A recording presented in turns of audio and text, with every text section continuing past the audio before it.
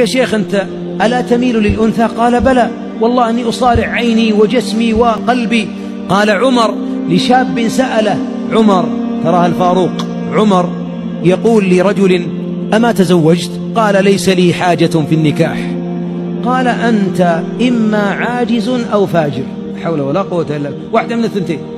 يا أنك عاجز في الباءة لا تستطيع النساء مرضا أو لا تستطيع النساء مالا أو أنك لك مخرج ما نبقى 13 ولا 15 مخرج الشيطان رايح معه ووجدت مصرفا من المصارف.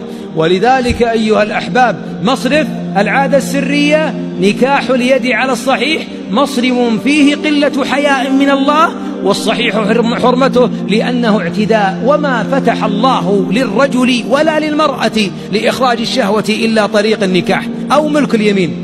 المواقع التي الآن يرسل إلى بعض أبنائنا. أتدري ما هي؟ إذا قيل موقع